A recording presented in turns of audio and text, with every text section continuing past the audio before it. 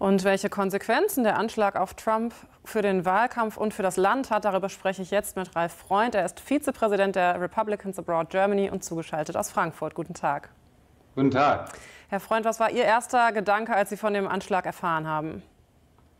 Also erstmal war ich froh, dass Präsident Trump ähm, nicht mehr als nur einen Streifschuss bekommen hat.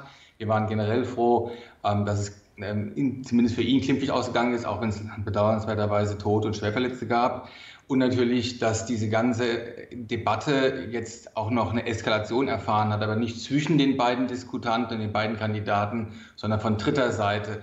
Also es ist anscheinend immer noch, das Narrativ der Steigerung ist anscheinend immer noch möglich. Ja, was bedeutet dieses Attentat aus Ihrer Sicht für den Wahlkampf?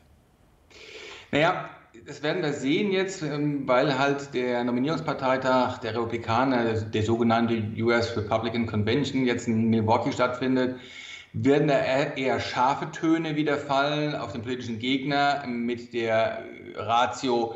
Das war ja klar, wenn man es so aufheizt, das war ja die Töne gewesen aus dem Umfeld von Trump, wenn man das alles so aufheizt, diese berühmte Hexenjagd auf Trump, dann war das die logische Steigerung oder Schlussfolgerung davon oder ob man sich mehr auf das Narrativ äh, beschränkt, zu sagen, das ist eher ähm, jetzt etwas, wo wir innehalten sollten, wo wir Demokraten zusammenstehen sollten, sowas verurteilen sollten und aufeinander zugehen sollten. Und es wird sehr interessant sein, jetzt zu beobachten in den nächsten drei Tagen, ähm, wie sich dort die Sprecher geben und wie Trump ähm, darauf reagieren wird, ob er jetzt mehr für einen gemäßigt sein wird oder ob Trump Trump bleibt.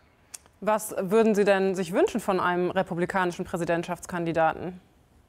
Ich würde mir vor allen Dingen wünschen, dass die politischen Inhalte nach vorne kommen. Also ähm, bei Joe Biden weiß man ja beispielsweise, wofür er steht, ähm, für einige Sachen der Kontinuität. Allerdings gibt es da auch durchaus Kritik zu üben. Ähm, bei Trump weiß man ja nicht so genau, was man bekommt. Ähm, man bekommt Donald Trump, aber welche, wie viel äh, republikanische Politikanteile dort drin sind hinsichtlich Außenpolitik, Sicherheitspolitik, Ukraine beispielsweise, Handelspolitik. Und das sind alles Fragen, die Trump nicht beantwortet hat bisher im Wahlkampf und die Wahlkämpfe immer mit großen Zielen verfolgt werden, also wo man hin möchte, aber nicht gesagt wird, wie man dorthin möchte. Das heißt, die politischen Inhalte und auch die Wege dahin, die sind relativ kurz und, und noch nicht voll beschrieben. Und da kann er durchaus etwas zu beitragen jetzt, wenn er nominiert wird. Das würde ich mir wünschen. Mehr politische Inhalte und weniger, ähm, weniger Aggression untereinander. Aber ist das nicht genau das Erfolgsrezept von Donald Trump, dass man eben Donald Trump bekommt und der Inhalt steht eben erst an zweiter Stelle? Also er hat durchaus ein Branding und er ist ein Meister der Kommunikation, auch der Selbstdarstellung tatsächlich. Aber ich glaube, diese Karte ist mittlerweile voll bekannt und auch ausge, ausgespielt, wenn er jetzt noch die Wähler gewinnen möchte, die sogenannten Independents, die unabhängigen Wähler dann muss er mit politischen Inhalten kommen und nicht mehr nur mit seinem ähm, Kern, seine, seinem Marketingkern. Das ist ihm aber auch bewusst. Er will die Wähler bekommen für Nikki Haley. Ähm, Nikki Haley hat mal keine Concession Speech gemacht, hat mal keine Wahlempfehlung ausgesprochen für ihre Wähler, nur für ihre Kandidaten, die jetzt für Trump stimmen sollen, aber nicht für ihre Wähler. Was ist mit diesem Wählerpotenzial? Was ist mit den unabhängigen Wählern, die Independents? Also das sind Wähler, die er jetzt ansprechen sollte und die spricht er nicht an mit radikalen Tönen, sondern doch eher mit versöhnlichen Worten und vor allen Dingen politischen Inhalten.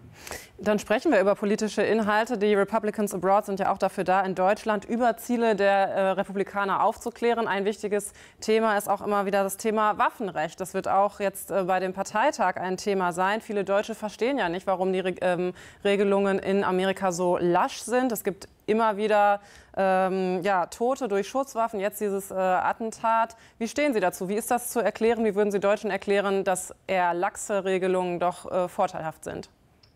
Also die Logik hier ist konträr zur deutschen Logik. Ähm, Trump sagt und auch die Vertreter eines liberalen Waffenrechts, es sind nicht Waffen, die schießen, es sind Menschen, die schießen. Und als wir damals beispielsweise die Attentate in Paris hatten, war der erste Kommentar von Donald Trump gewesen, das wäre niemals passiert in den USA, dass einer eine Viertelstunde lang in der Gegend sich rumschießen kann. Irgendeiner hätte eine Waffe gezogen und den Attentäter zur Strecke gebracht. Und das ist eben das Selbstverständnis. Ist das eine Waffe in Amerika, ist für diejenigen, die ein liberales Waffenrecht vertreten, Hilfe zur Selbsthilfe.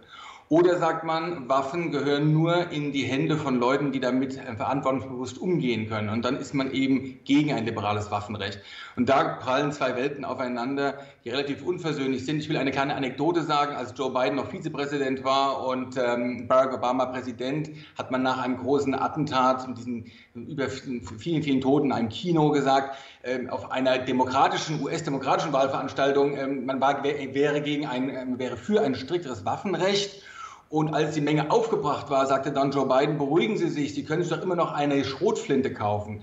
Man müsste es mal vorstellen in, Deutsch, in Deutschland, wenn so ein Argument kommen würde. Denn das war ein wahres ähm, Argument gewesen. Wir nehmen Ihnen ja nicht alle Waffen weg, Sie können ja noch mit Schrot schießen. Also die Diskussion ist auf beiden Seiten des politischen Lagers dort sehr ideologisiert und eigentlich für uns Deutsche kaum nachzuvollziehen. Das sagt Ralf Freund von den Republicans Abroad Germany und wir werden den Wahlkampf natürlich weiter beobachten. Vielen Dank für das Gespräch. Gern geschehen.